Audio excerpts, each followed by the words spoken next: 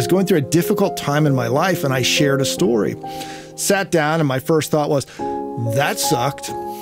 They're going to rip me apart on the evaluation. My evaluator, Chris, got up and he started giving me some feedback, and it was very helpful. And before he walked off the stage, he said, I don't know what you did today, Mike, but that's the best speech I've ever heard you give. What did I do? I just got up there and I felt like all I was doing was complaining and moaning. And what I realized in retrospect, it was the first time I'd ever truly been willing to be vulnerable in front of an audience. I was dusting my office one day and I had a can of furniture polish and I'm dusting away because people had told me for years, you're such a polished speaker. Oh, you look so good up there. And I, I wore that as a badge of honor, right? Because the hair was good, the suit, and all that. Well, I'm polishing my furniture and I look down at this can of furniture polish, which you can see, and it said, oh, nothing sticks to polish. Welcome to the Seven Hats Podcast. My name is Yuval Selik, and I've been on the entrepreneurial roller coaster for over 20 years. I've experienced it all throughout my journey the grind, burnout, failure, and ultimately, success. The turning point for me was realizing that building a successful company is meaningless if you neglect the other significant areas of your life. So today, I'm inviting you to join me on an adventure through those seven areas, what I call the seven hats. Every week, my guests and I will drop valuable insights and pearls of wisdom, helping, motivating, and inspiring you to get your seven hats in order and deliver real impact with meaning. So let's get going. Welcome, Seven Hatters. In this episode, we speak with Michael Davis and dive deep into the captivating world of storytelling as we tap into hats three and four the servant and the entrepreneur. Our special guest today is not your typical speaker or coach. This storytelling expert possesses a rare gift for weaving words into captivating tales that grip the hearts and minds of audiences worldwide. Get ready to be inspired as we explore the untapped potential within you and unveil the key ingredients that turn a simple story into a captivating masterpiece. But hold on tight because this episode is not for the faint of heart. We're about to peel back the layers of conventional storytelling and delve into the immersive world of senses and emotions. Discover how to transport your audience to vivid landscapes where they can see, hear, smell, and feel every moment of your story. Oh, and let's not forget the exhilarating virtual realm of TEDx. Michael will guide us through the thrilling opportunities and challenges that arise when delivering a TEDx talk how to audition like a pro, captivate the selection committee, and ultimately grace the iconic red circle with your transformative message. So if you're ready to become the speaker everybody wants to hear, let's welcome Michael to the Seven Hats. Michael, welcome to the Seven Hats. Thank you, Yuval. Great to be with you. Uh, I love just the title alone. Seven Hats is intriguing. So it is intriguing. I used to, you know, before the Seven Hats, it was going to be called the Seven Summits, and I think that was taken someplace. So I was like, you know, I got to figure out a better, a better catchy title. Seven Hats. Uh, my co-founder from PromoMash uh, brought brought to my attention, and the rest is history, as they say. So I'm really excited, Michael. You know, who doesn't like a good story? No one. No right? one. It's true. It's in our DNA. Our species survived because of stories. You know, every every culture has its own tradition of storytelling. Even if the story is the same, right? It can be told in so many different ways. A great storyteller using vivid imagery can really change the way people think and act. And you know, we know of some incredible storytellers who changed the world many yes. times over. We're looking at Martin Luther King and Nelson Mandela, Mother Teresa, um, JFK, Steve Jobs, Shakespeare, Walt Disney. I mean, so many others, so many, many amazing storytellers. And now I'm speaking with Michael Davis, not only a fantastic storyteller in his own right, but one who teaches others on how to be great storytellers. So, before we learn the craft of the fable, Michael. The mm-hmm. Seven Hatters want to know the story of Michael Davis.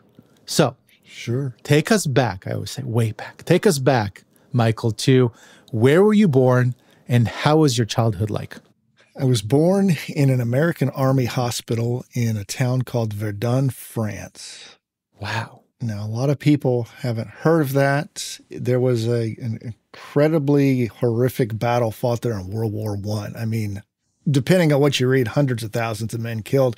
And the irony is there was not an ounce of ground gained on either side when it was over. But neither here nor there about me. Um, I was born there to a, a, French mother and a German father. German father was in the American Army. Don't know how that was possible in 1963. And uh, when I was a baby, mom had always wanted to move to the States. We came to the United States and moved to uh, Indianapolis, Indiana. Nice. Which at that time was a small city that was well known for a racetrack, which will come in mm-hmm. later in my story.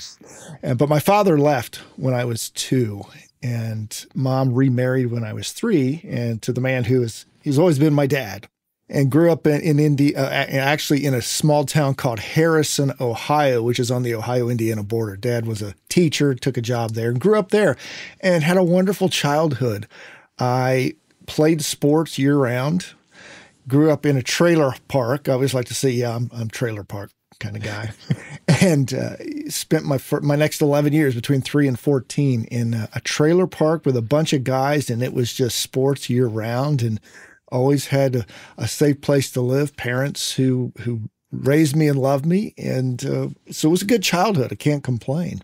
And then when I was uh, 14, we moved to Cincinnati, Ohio, which was a big culture shift coming from what I would term WASP country, white Anglo Saxon American Protestant, to a city which had a, a, lot of different cultures, which was great for me at a formative time in my life to meet people from different backgrounds. Yeah. That was my foundation. I went to a, a fabulous high school here in Cincinnati called Walnut Hills and then went to the University of Cincinnati. So that's what got me started into my young adulthood. Any uh, siblings?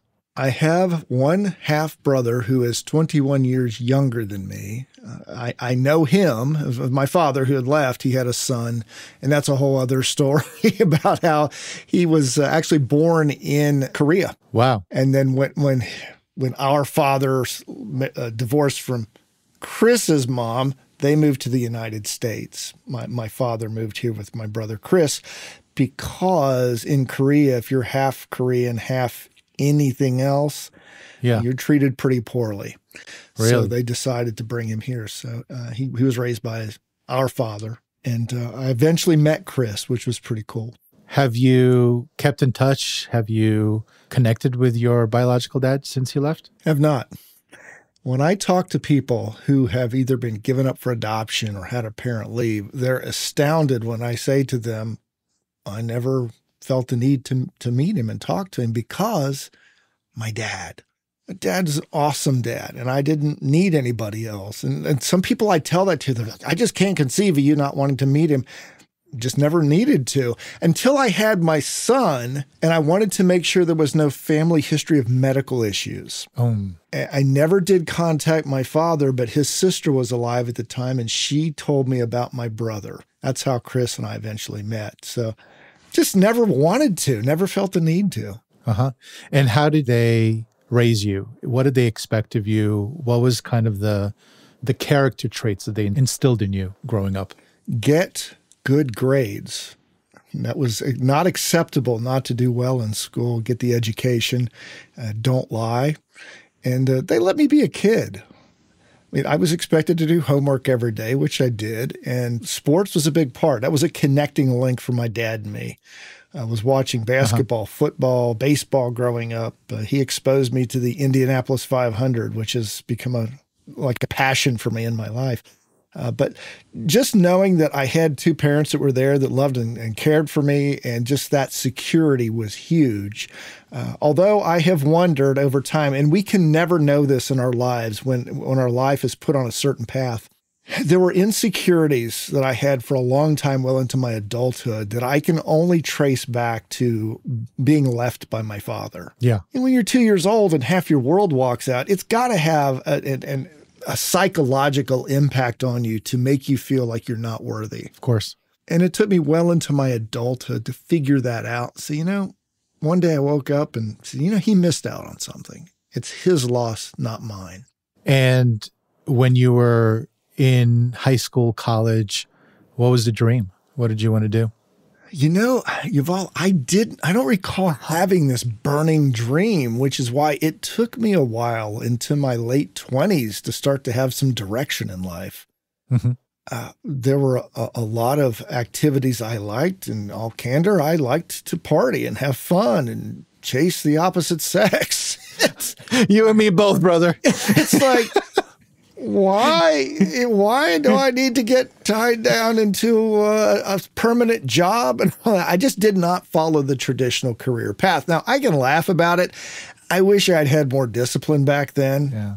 But I didn't. So you regret kind of spending that time not focusing on potentially career or some passion of yours? Do you feel those are wasted? Not wasted, but unutilized, you know, uh, years of your life that you could have done something different? Because I I feel the same. Like for me, I didn't start becoming serious and as an entrepreneur until I was in my late twenties. And these days, I mean, you have entrepreneurs at 12 years old these days, right? So right. that's that's the question that I've always, you know, pondered. Do you regret some of those days? You know, I'm 59 now, and I don't. And for a, for a time, maybe in my 40s, I did. I thought, oh, I could have been in such a different place. But now that I look back, each of our lives is like this mosaic, and yeah. all these little pieces make it and, and create this unique picture. I had some experiences. I had some entrepreneurial ideas when I was in my teens. I remember trying to create an online marketing business when I was 14 or 15 there just wasn't when i say online obviously online didn't exist i meant uh, mail order marketing yeah. which was now online. Um, but mail order marketing i was always searching and i just was not the kind i never had a corporate job. Well i did. I worked for a bank for nine months and the reason i worked for nine is because i wasn't going to work for 10 it wasn't happening. I just could not I cannot conceive of that mindset. So I've always done something entrepreneurial, sales oriented. But no, I, I, I don't regret those because they all added to where I am today and they gave me experiences and lessons. And that's mm-hmm. the only way we learn and grow is make a lot of failures. Yeah, absolutely. So you didn't really have a path and you got out of college and well, what did you do after that? I started in sales. Uh, mm-hmm. I, I, tried selling cookware at first, and that was a very short-lived project. And then I started. You could have doing, been the next Ron Popeil. I, I mean, could have been uh, chosen, or Martha Stewart. Who knows? Yeah, I don't look good in an apron though. I I got involved with telemarketing for a gentleman who was a friend of my dad's who was selling insurance and he would just have me call people and set appointments. And that was my backdoor entry into the world of financial planning. Wow. Which was, I started when I was 25 years old. And I thought, oh, okay, this looks like a fun uh, job or career until I figure out what I want to do. And I stayed in that for 28 years. Wow. You never know. You take a certain job and you go in a direction you never anticipated. So 28 years go by. And then what happens? Well, when I was 55 years old, 2018, I said, I need to either make a complete break from this and do what I really want to do, or forget it and just stay in this career that I like, but it's not my driving passion. So in 2018, I made a complete break from the industry and I burned the ships. I mean, I, I didn't, I let all my licenses expire and everything. I did not want to have that safety net anymore. Now, the story of how I got to what I do today was not born in 2018. It was actually born on a desk in first grade in 1969. Wow. Yeah, it was uh, one Tell of those. Tell us the story, Michael. yeah, it was one of those afternoons where it was raining outside, it's indoor recess, and I'm bored. So I decide, Yuval, I'm going to jump up on my desk and I'm going to have some fun. I'm going to dance and sing. And also, this was not long after Neil Armstrong had walked on the moon. So I thought, yeah, I want to be the next astronaut. So I'm practicing flying through space. I'm having a great time on this desk. Yeah. Until Mrs. North walks back in the room, takes one look at me and says, Well, since you love standing on your desk so much, I'm going to let you do it during nap time so everyone can see you, Michael. Oh, man. Uh oh. So here we are about an hour and a half later. Lights are off, rain's hitting the window, still raining outside, and I'm standing on this desk My friends are not sleeping. Everyone is looking up at me and they are silently taunting me. I mean, they're making the faces and they're pointing and, hey, hey, he looks stupid up there. I mean, just awful. And all I can think, even though this was a long time ago, I can remember thinking, please let me get down. Please let me get down. I promise I'll never be bad again. And when Mrs. North finally said, You can get down now, I hope you've learned your lesson. No, I had. I thought, I'm never standing in front of people again. Mm. And for the next 25 years, I did not stand in front of people again unless I was made to, either through school or work. Well, jump ahead to 1994. I've, I've been a financial planner for a few years, and part of my job is to give presentations, specifically retirement planning workshops, to prospective clients. I have to get people to come through the door. Well, one morning, my boss sits me down in his office and he slides this stack of papers across to me and says, You know what? On second thought, don't bother reading these. These are evaluations from your last workshop, Michael. Your speaking skills are lousy. Your stories suck. You are boring. He was a real touchy feely kind of guy, right between the eyes. So, right then, now, the desk incident from first grade, I'd buried that in my subconscious. I'd forgotten Yeah. all about it. But that was the moment I had to make a decision. Do I deal with the fear of speaking and being in front of people, or do I save my job? Yeah. I chose to, to deal with the fear. And I went to Toastmasters International. Yep. And that started me on the path to where I am with you today because it was there uh, that I learned, first of all, as you mentioned earlier, storytelling, speaking, it's, it's ingrained in us. And the fear of speaking is natural. It was a survival tool with our ancestors. So the fear is natural. Second, everybody's had a bad experience in front of a group. And number three, it's a learnable skill. Yeah. Who knew? You know, back then I'd look at a great speaker and think, oh my gosh, that person was born that way. They weren't. They learned that skill. That set me on a path. Now, for the first eight years of that path, I didn't have a lot of success. I learned kind of how to manage my fear and get in front of people. That wasn't an issue. But my parents raised a do it yourselfer. Yeah. If you want it done right, do it yourself. And that really hindered me for eight years. So when you first began your career in speaking, do you remember the first time, first, first time that you were on stage in front of a decent crowd? What did you learn about yourself that day? I learned I wouldn't die from speaking. I learned that I could do it, but I had a lot of work to do to overcome this fear. And it took me a while to discover this, but I was incredibly insecure. And again, I think that all stems back to what happened when I was two, when I was half half abandoned. And I just think that's that's one of the messages that that was buried into me was you don't have a lot of value and what you have to say who cares you're not you don't have anything of value to say so it took me a long time to figure that out but the early lessons were you can do this but it it's going to take some work So you're in your 50s and mm-hmm. you're starting something from scratch. Kudos to you. Congratulations. Most would not do that. So that's, that's incredible. How long did it take you to start mastering the art of speaking? I would say it took from 1994 when I started uh, about 15 years. 15, Yeah, I can pinpoint the day when I realized I was making progress. which was? Well, I was speaking to a group in 2009, and it was a last minute situation. The speakers who were supposed to speak that day didn't show up. The organizer was panicking, and I felt so bad for her. I said, Yeah, I'll get up and speak.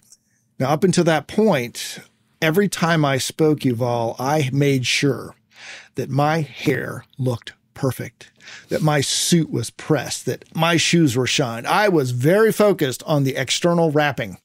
I didn't get to do that this day. I just got up there and I told a story, and I couldn't tell you right now what it even was, but it was I was I, I just was vulnerable. I was going through a difficult time in my life, and I shared a story. Sat down, and my first thought was, "That sucked. They're going to rip me apart on the evaluation." My evaluator Chris got up and he started giving me some feedback, and it was very helpful. And before he walked off the away from the front of the stage, he said, "I don't know what you did today, Mike." But that's the best speech I've ever heard you give. Nice. Keep doing that. And I was just, it really threw me. I mean, all these questions in my head. What did I do? I just got up there and I felt like all I was doing was complaining and moaning. And what I realized in retrospect, it was the first time I'd ever truly been willing to be vulnerable in front of an audience. Yeah. To share some of my pain. And from that day forward, well, it was not long after that. And I know if you're listening to this, you can't see, but I was actually uh, dusting my office one day and I had a can of polish, uh, furniture polish, and I'm dusting away because people had told me for years, you're such a polished speaker. Oh, you look so good up there. And I, I wore that as a badge of honor, right? Because the hair was good, the suit, and all that. Well, I'm polishing my furniture and I look down at this can of, uh, of furniture polish, which you can see, and it said, yeah. Oh, nothing sticks to polish. Oh. As Oprah says, tweetable moment. and I thought, nobody is remembering my message because they're too focused on the exterior package. Wow. And from that day forward, and I ever so often somebody will say polish, and when they when they do, I cringe because I know my message didn't stick. And it happens when you're working on a new. Happened last night. I, am working on a brand new story, and I'm really working I'm, the kinks out of it. And somebody said, "But you look so polished," and I said, "Oh, no, don't want that." But yeah, that taught me that it's got to be about the message and the audience, and they really don't care how you look. Now, granted, you don't go up in a tank top and cut off shorts when you speak or yeah. tell a story, but don't worry about that. They're there for inspiration to change their lives. Yeah. Well, there are speakers, and you know their names. No arms, no legs, and they're up there, and they're more riveting than any polished businessman with a suit can Absolutely. ever, right, engage the audience with. So, yeah. 15 years that you're not really feeling confident about your speaking.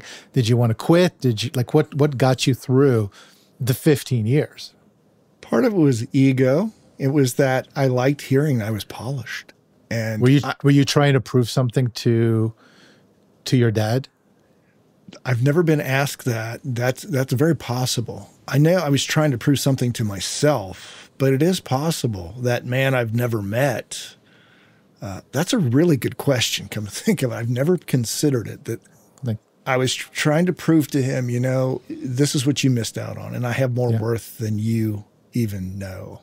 Or maybe secretly thinking he'll be in the audience one day and and hearing you, you know, perfect this craft. It might be interesting.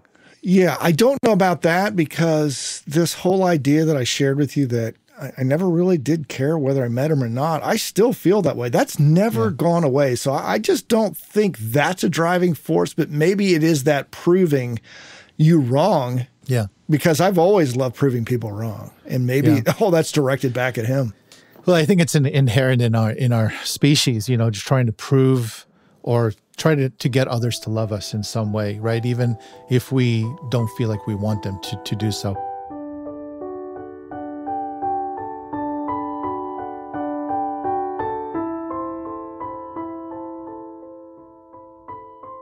So you've perfected your your career 15 years. Now you're an expert. So let me ask you some some questions on what you've learned, right? So mm-hmm our ancestors told stories, right, to pass down ideas and information from you know one generation to the next, right? Correct. It was actually required for our survival back then. They didn't have Google. They didn't have 500 TV channels for easy access to information. So, with that said, in your experience, right, knowing that stories convey important information from one to another, why is storytelling so important in the 21st century when we can just gather that much information so quickly, you know, with our phone that's in our pocket? Oh, I love this question, Yuval, because I've inserted this into all my webinars and presentations now. And I ask people with the availability of information on our desktop, our laptop, our phones, TV, why do we have so many problems? The information's out there. I can go get more information right now than you could ever give me in a five hour workshop. So, yeah if that was the solution to the problem, why do we still have the problem? The problem is because the information is static and it's it's somewhat in a vacuum, meaning I need somebody's interpretation of the information to show me how it applies to me. Hmm. That's why story's so powerful. And there are many types of stories, but in business, we teach people the three most prevalent kind are the successful client story. Hmm. This is the story of an individual who went through, was going through some type of challenge, could not solve it by themselves. Tried, tried, and just got more and more frustrated, and it started to affect their emotions. And then the guide comes in. And on business, the guide is actually you as the business person who provides the solution to this individual. The person starts to implement it, takes a little while at first, but then eventually overcomes the problem, succeeds, and is living a new and better life. Yep.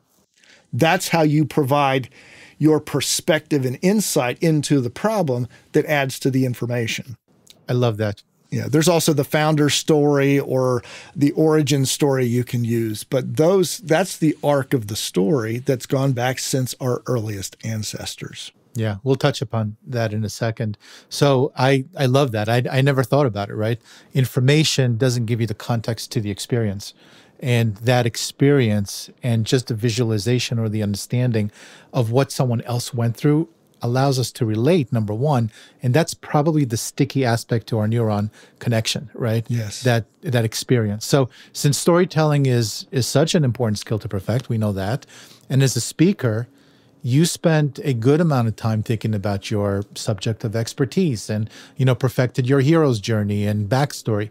But for us who are in sales or uh, marketing or just trying to win friends and influence people as uh, Dale Carnegie wrote. Uh, how do we go about capturing the stories that help us build credibility and success in life? I want to answer that, but I do want to address a word you've been using, and I, I don't want to nitpick the host, but be go careful ahead. with it because a lot of people approach me, and that's the word perfection. Yep.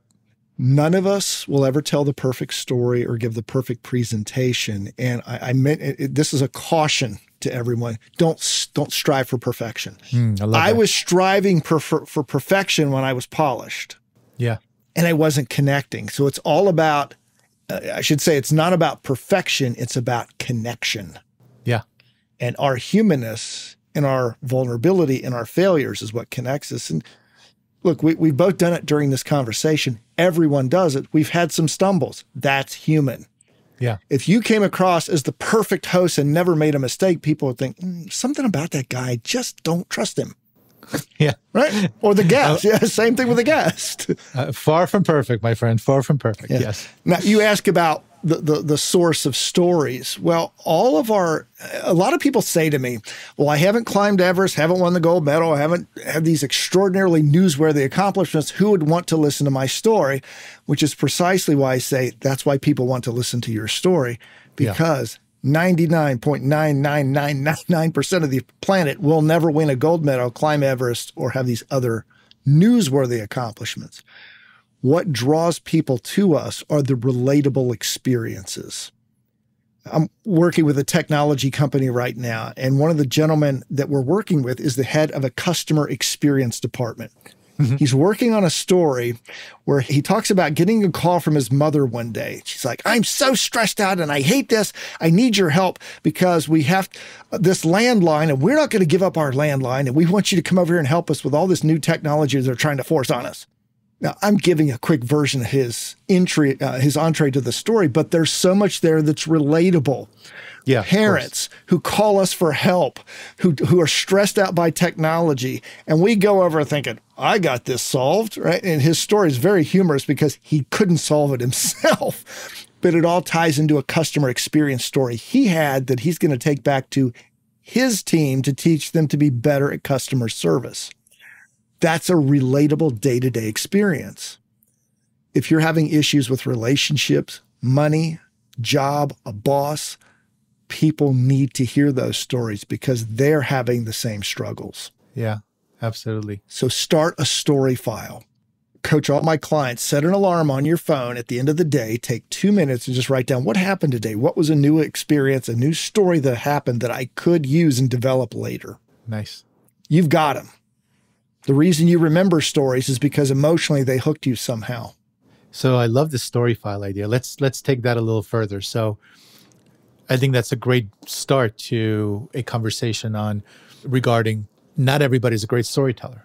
Mm-hmm. People are scared, right? They might have 15 years to go to figure it out.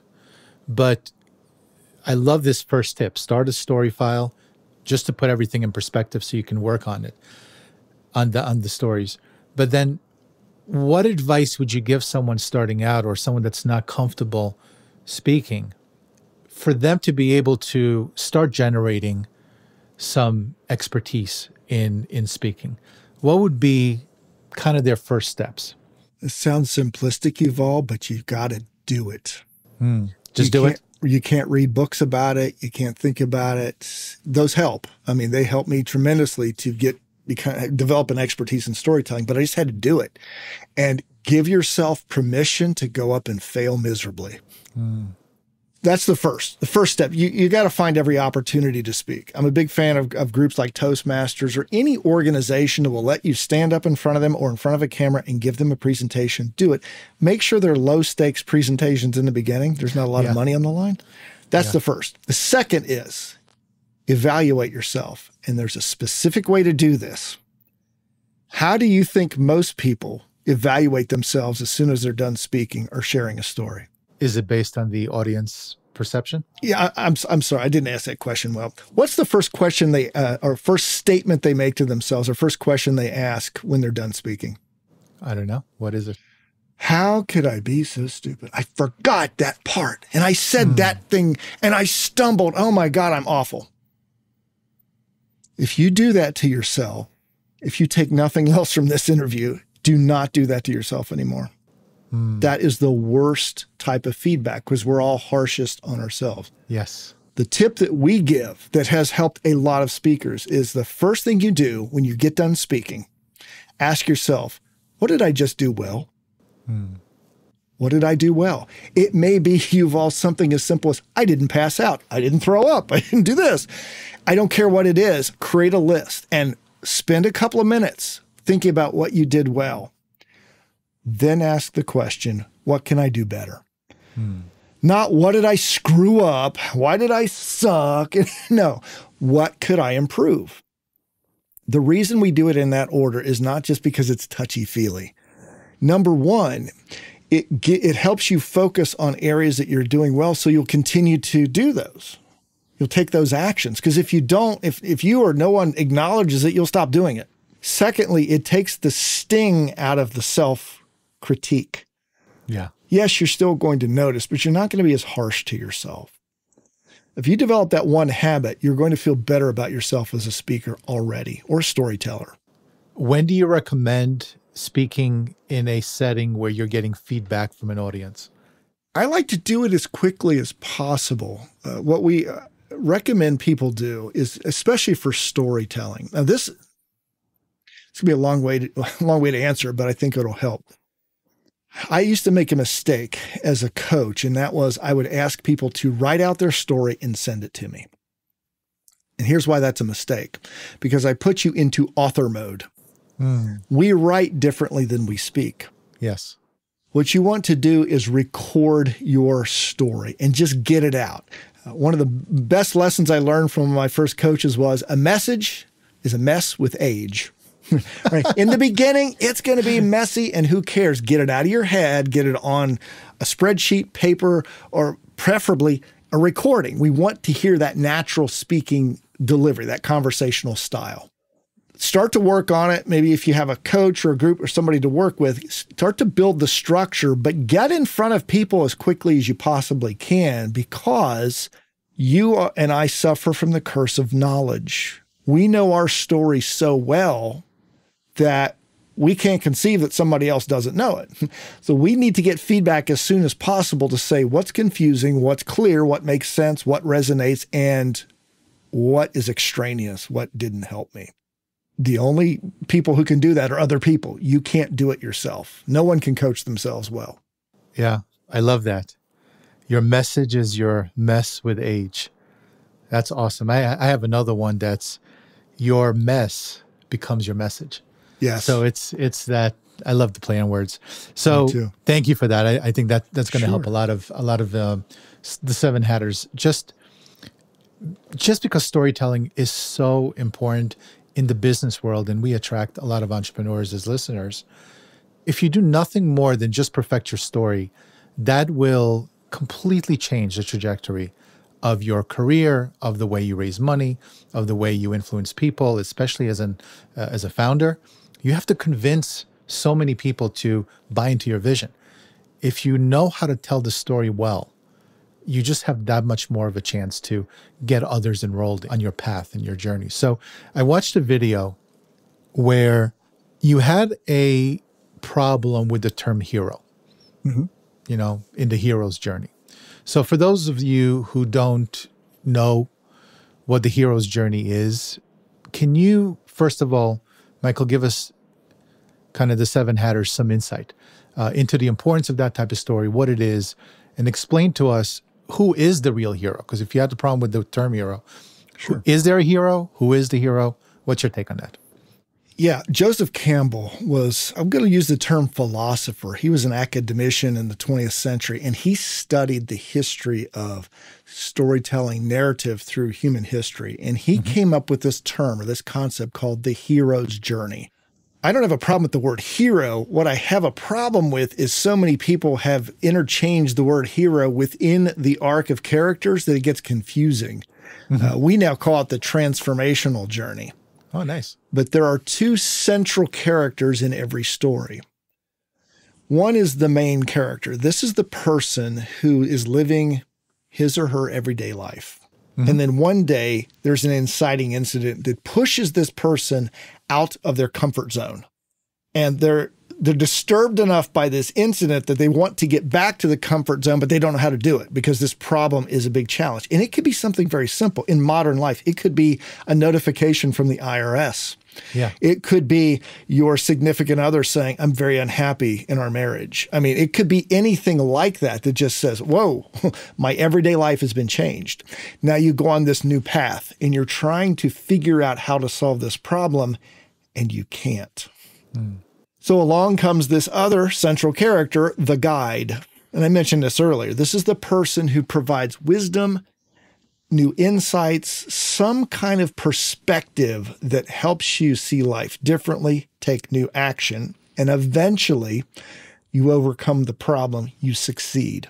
Now, success is not the end part of the story, Yuval. If we just yeah. stop there, the listener could say, well, uh, this this central character, this main character, took all this action, succeeded, and then just went back to the way they were. No, they've yeah. changed. What we need to see at the end is the new life. How does yeah. this person see the world differently? How have that they transformed? That's the nutshell version of the hero's journey. The reason, uh, or what I call the transformational journey. I don't like the word hero because a lot of coaches say the central character, the main character, is the hero. Yeah. And others say the guide is the hero. So it gets confusing. So I just said, I'm throwing it out. It's transformational journey, main character, guide. And that keeps it pretty simple. And in business, you are the guide. You're yeah. the one who's providing the wisdom and the solution to the person who's struggling. And you can't be the the the transformational character and the guide at the same time, right? You you have to have someone come into the story to help you out because some might think, well, you know, I figured it out myself, but that's not going to work, right? It's an excellent point, and you're correct. You can't be both if you want to be believed by your audience. Now, you and I, and if you're listening to this, you've heard the speaker who stands up and tells you how he was struggling, going through all these problems. But then yeah. one day I woke up and I had the answer.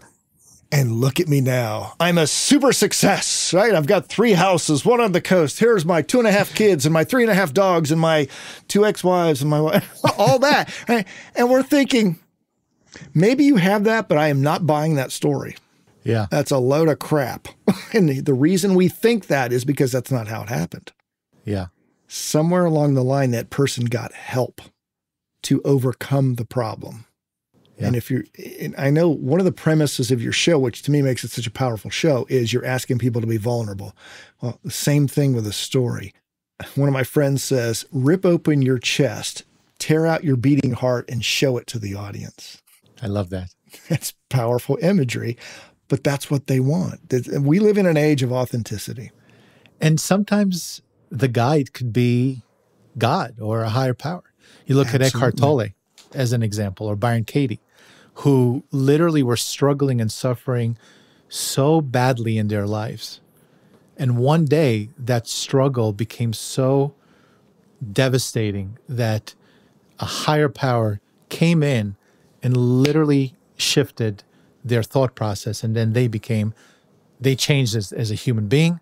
And obviously, when the hero returns, they must share the boons with with others, and that's what they've been doing. Absolutely, which is, which is fantastic. No, that is the part of the new life is going back and sharing what you've learned with others.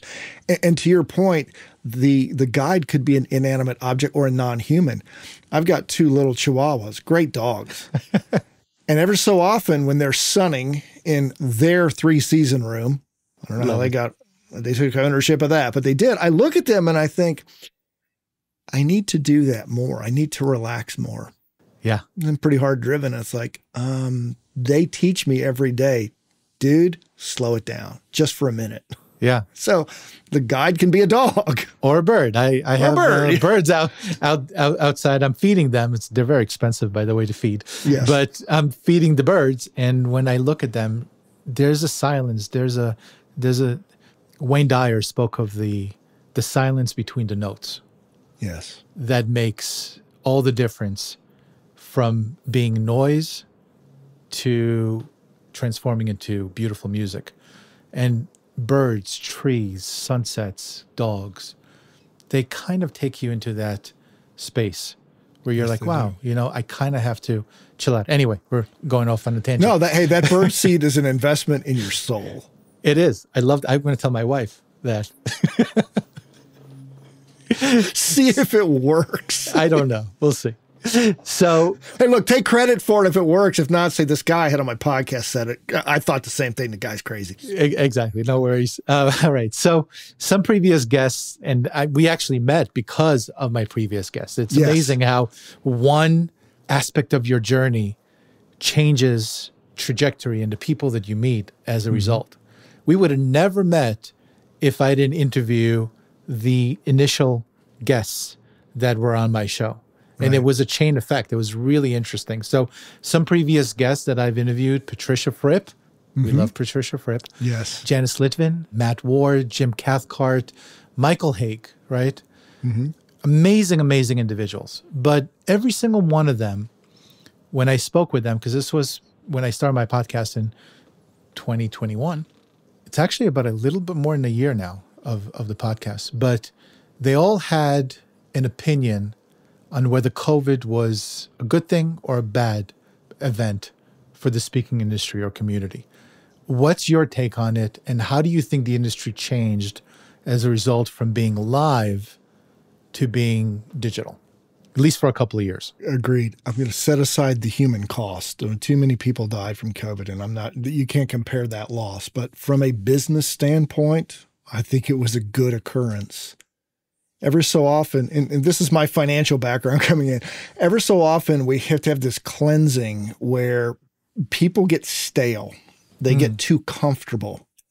I saw some highly successful, highly paid speakers leave the business, Yuval, wow. because their attitude to me seemed to be, well, I have to be in front of an audience in order to have an impact.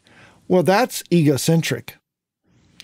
Ultimately, do you care if the insight that you got came from a speaker in front of you on camera, on a video on YouTube, in a course, in an audiobook, or a book, or a dog? Right? you don't care the source as long as it gave you insights. Those folks needed to wash out, frankly. It's not how you get the message. And it, it, it, it really isn't how you get the message to them. It is did the message get through? And because there's so many different learning styles, we need to be adaptable to speaking to a camera, speaking to an in person audience, and a combination of both, what we're now calling hybrid. I think it was a good occurrence because I, I, was going to networking events long before 2020. And I was also doing online coaching since 2017. I'd go to networking events in 2018 and 19 and say, "Oh, you really need to try this virtual meeting uh, like Zoom or something like yeah. that because it's a great time saver and it'll help you quickly determine who's the, a good person to talk with." And Yuval almost to a person, they all said the same thing. Oh, I could never do that. I have to be in front of people. Yeah. And I said, You better get used to it. It's coming. It may be 10 years, but it's on its way, not knowing what was about to hit. Exactly. And I was astounded six months into COVID how people were saying, This is awesome. I love this. What a great time saver. yeah. I felt just like I did when I would tell my kids something when they were little and they thought nothing of it. Somebody else says it. Oh, that person was a genius. yeah. Exactly. But again, not being egocentric, they got the message. It doesn't really matter how they got it. Yeah, I mean, and I think just traveling is so difficult from one, especially if you're if you're a successful speaker, you're traveling three quarters of your year, right? I mean, Yeah. three, 200, 250 days sometimes.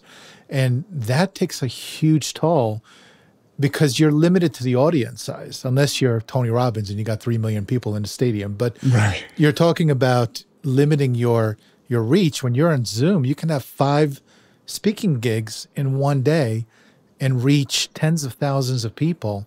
So I think, yeah, I agree with you. I think Patricia Fripp absolutely loved it. She's like, I'm not going out anymore. I I got my tech, t- technician and you know below me. He comes up, he changes my Zoom around, and I just do my thing. He's like, she's like, I love it. All right, so Patricia's awesome. I was at one of the final events she did live about three or four years ago, and she said at the time, I just want to sit home and read trashy romance novels. I love that, and with her accent, oh, Yes. best accent that I've I want to read trashy romance novels. Exactly.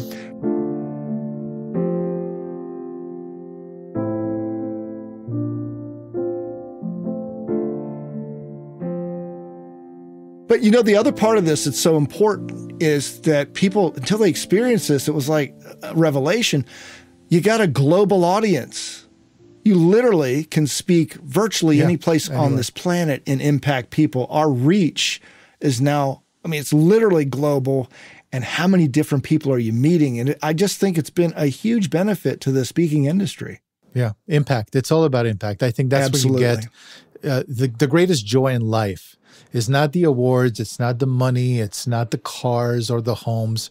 It's how much impact are you providing others, and, I, and to me that that's always been kind of a driving force, uh, growth and impact. So, speaking of COVID, I think we gotta talk about Vax, not the Pfizer vaccine but VAX, the acronym. And Yes. VAX, the acronym is visual, auditory, kinesthetic, and smell. Yes. So tell us more about VAX and why is it important? the best stories connect with us emotionally and at a sensory level. So when you can include the senses, the visual, the auditory, kinesthetic, smell, that brings people into the story so they feel like they're sitting right there with you. So there's a story I tell about. Uh, this is where my Indianapolis uh, story is going to circle back. I've been a huge fan of the Indianapolis 500 race for my whole life. And I've been there 45 times. And it was always a dream of mine to sit in an Indy car and drive on that track. Nice. Fat, you know, fat chance of that. I'm a speaker and a coach. Well, my dear Linda, my partner, gave me a gift four years ago of a solo drive in an Indy car at the Indianapolis Motor Speedway. Wow. So it's it's May. It's an overcast day, unusually cool for this day, but I'm sitting in this cockpit tightly strapped in. I mean, up to the point where I can barely breathe. And even though it's cool, I am sweating like a pig. I can imagine. Right? I can smell the gas uh, uh, fumes from the car. And I'm so laser focused, I can see the track in front of me. And I'm thinking about all the time. I'm just sitting there waiting to go out on the track, and I'm scared to death hmm. because of the orientation meeting I just sat through, where they told us everything that could go wrong. I mean, they scared the heck out of me. So by the time I hit that gas to go, I I'm shaking, I'm sweating. Uh, now, do you feel like you were right there with me in the car? Absolutely. versus what a lot of speakers do, and we have to work with them on this. I was sitting in the cockpit of this car and I was scared to death. Yeah. I'm not seeing it. I'm not feeling it. So we need to bring those those factors in. And you don't have to spend three paragraphs, by the way. You can do it one or two sentences. What do you see? What do you hear? What do you smell? What do you feel? Yeah. And you can do taste also. That and that's the mark of a great speaker too. I mean, you're you're spot on. When you enroll all the senses and you're there, it's it's almost like you're you're on the edge. I was literally on the edge, like what's going to happen? How Tony Robbins is actually really good at that. Yes. He's he's great at bringing you in to Russell Brunson too. Very good. Mm-hmm. Very, there's some great speakers out there. I mean, I tip their, tip my hat off to them. So, do you know who taught Russell storytelling? It was it Michael Hauge. It was Michael. Yeah, Michael's yeah. been a, a, a mentor of mine, and I get to host a monthly call with him on storytelling. So it's been an he's, awesome experience. I mean, he's shown me how to go deep into it. Uh, but yeah, when I told the first grade desk story, the rain was hitting the window. Yeah, for sure. You, I, were you there in the class? I was there in the class. Yeah. Those those parts are not accidental. Now we have to be careful we don't over detail it. Yeah. I always use the analogy of the paint by numbers kit. If we if you did those as a kid, we're giving you the outline as storytellers, and then you the audience can fill it in with the colors and flavors and make it your own story. So you're there in the scene with us. Yeah, I love that. I love that, and I truly enjoyed Michael. He's such an amazing human being. He is. And in his I, the one thing that I'll always remember, he said, "Yuval, one thing about storytelling, you have to elicit emotion." That's his thing. You have to elicit emotion. And I was like, yep, that's what it is. So, he has driven that so deep into my subconscious that it's like that's what I tell everybody. Where's the emotion? Where's the it's emotion? like Michael's channeling me. exactly. All right, so let's switch topic uh, sure. topics to one that has always intrigued me, and that is the TEDx stage. Okay. Yes. TEDx has graced us with some of the most, I think, engaging and intellectually stimulating stories of our time. And I think that it's a platform that can elevate a person to levels I think they probably can't imagine, right? Mm-hmm. Tell us, because you you're a pro at helping others prepare for TEDx talks.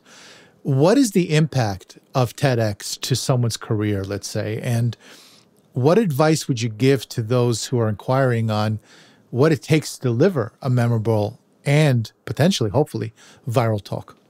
I'll give you two quick examples. Simon Sinek in 2009 mm. gave a an event, a speech at TEDx Puget Sound, which doesn't even exist anymore. wasn't even high quality video. Look where he is today, based on and that that that was his beginning. That was his rocket launch. Wow, that's amazing. There's another gentleman named Jia Jiang who wrote a book of his experience of 100 days of seeking failure, rejection, I should say.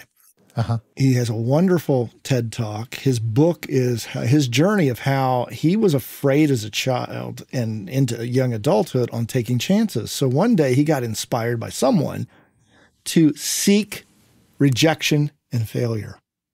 Wow. Jia Jiang, J I A, I think J H A N G. I've seen him speak. He's getting better and better as a speaker. His book is awesome, and it is inspiring to to to get you to go out and take a risk. But he created an entire career from that one TEDx talk. Wow, what does it take to create a great TEDx talk that's that's actually memorable? Well, there are some differences. You need to tell a good story. However, what a, many TEDx stages and, and I should say organizers don't want is just pure inspiration. Hmm. They want proof they don't want you to be someone who read about this in a book and loved the theory. Uh, Jiang, he went out 100 days in a row and sought rejection, and that created a message and a memorable experience. If you watch TED Talks at all, just go back and watch them and say, why does that one resonate with me so much? Well, it's because the speaker told a story which was most likely full of vax. Yeah. And it had proof of concept, if you will. That's what a lot of organizers want to see is how can you prove what you are telling us? So it's a combination. You don't want to bore people with research data and statistics and that's why the visuals can be so powerful if you've got video especially. But tell a story that sets up a premise that you can prove yeah. That's what's different from what a lot of speakers do, which is an inspirational story to pump people up and get them out there. I'm not saying TEDx speeches can't be inspirational, they are, but from a different perspective. Yeah. And so what about is it difficult to to get on a on a stage? It, do you have to get approved by some committee? You have How- have how, does it work? Yeah, most of them you have to go through a process where you apply to speak, and many of them have auditions. Most have shifted to the virtual audition, but you just want to hit them with your basic idea. The audition is typically 90 to 120 seconds. So you got to get to the point. Here's my idea. Here's how I'm going to support it. Here's the story I'm going to tell.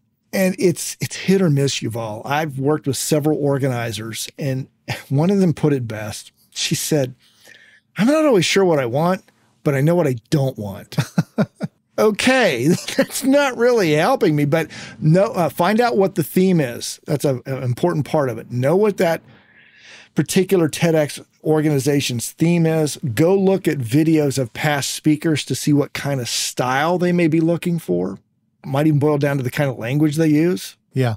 but do some research on that and then just apply it's it's all about persistence the same advice we give to spe- uh, professional speakers about speak, uh, seeking paid speaking gigs is you got to just keep putting them out there and having conversations and eventually you're going to get one Do you think that if you're a professional speaker, you can be a great TEDx speaker?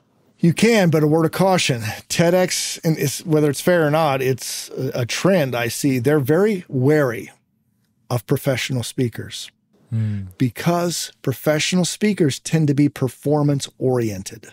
Hmm. Lots of gestures and high energy.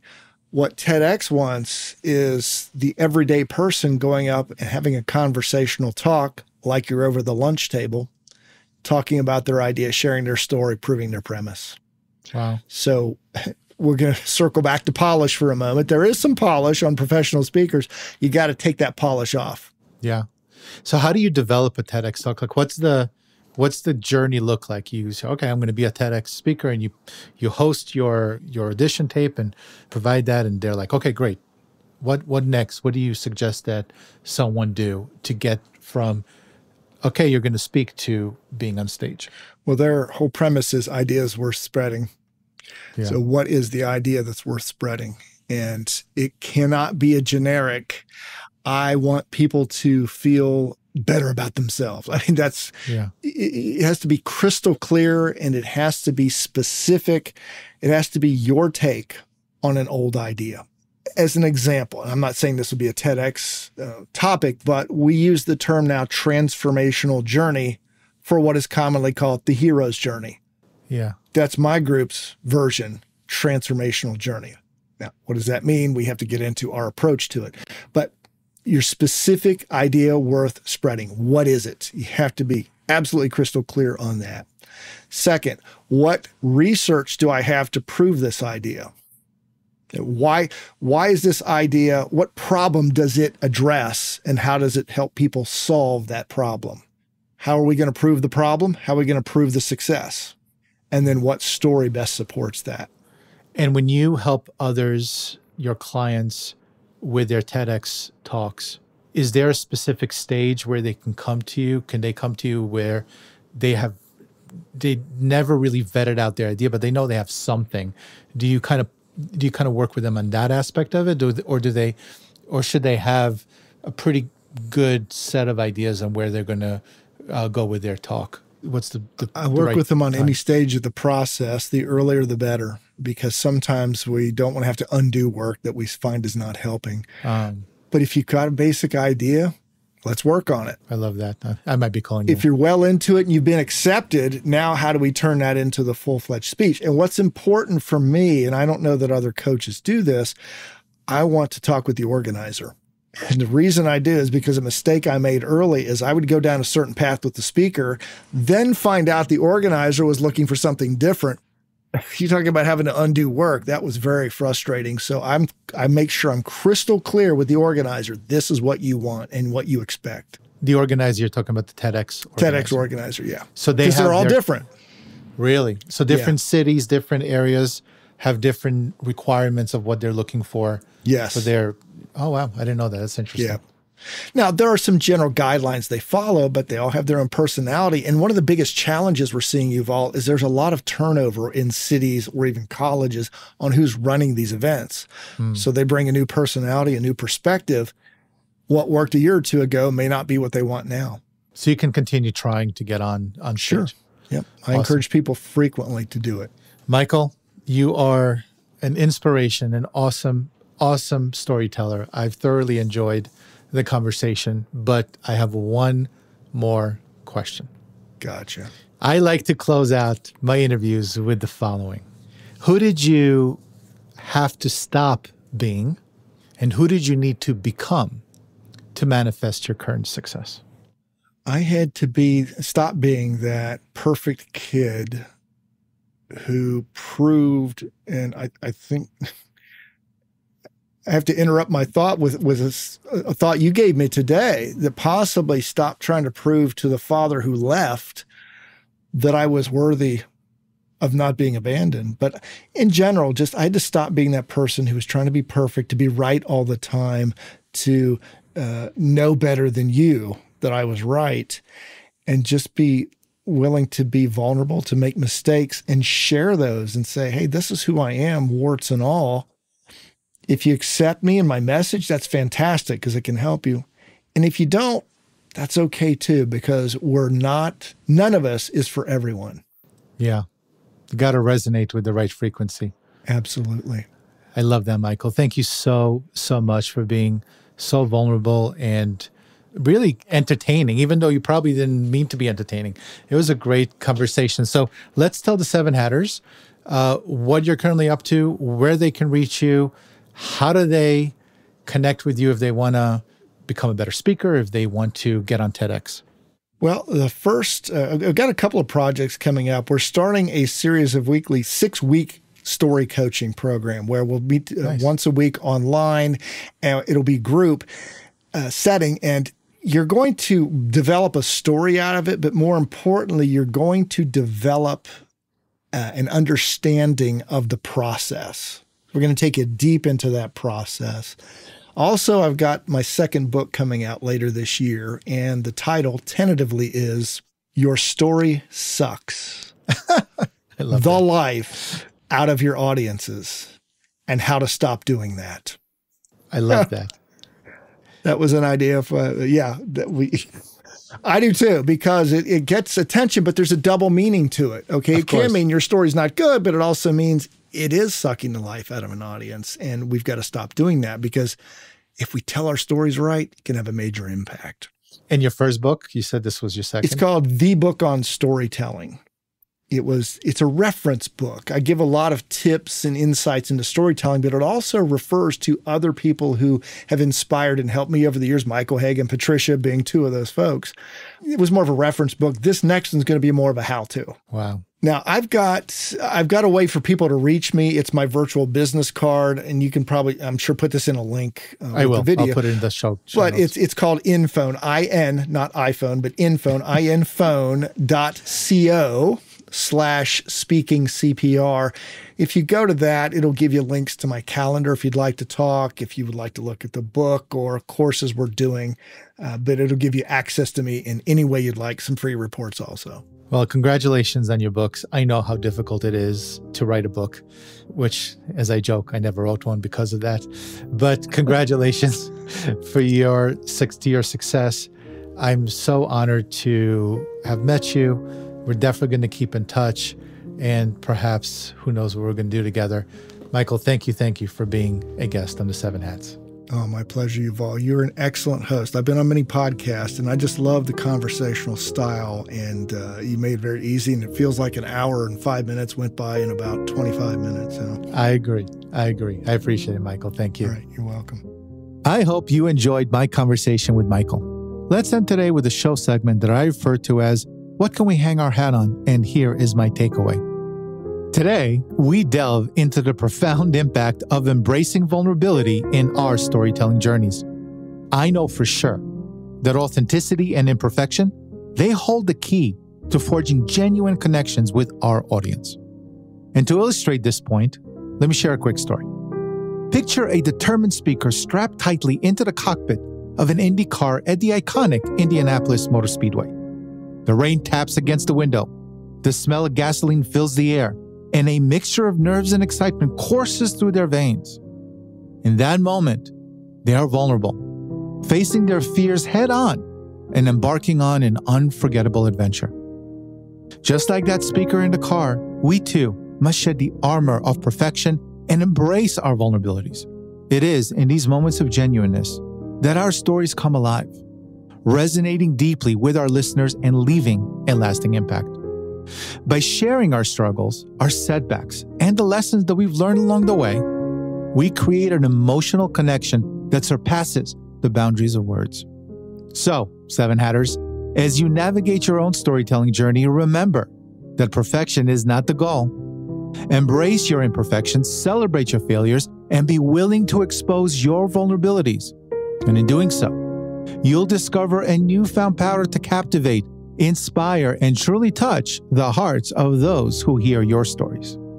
I want to thank Michael once again for joining me so that we can all benefit from his wisdom. And until next time, if you found this episode helpful, please hit that subscribe button and tell other entrepreneurs out there what value you receive from it so that we can attract even more high quality people into our Seven Hats community.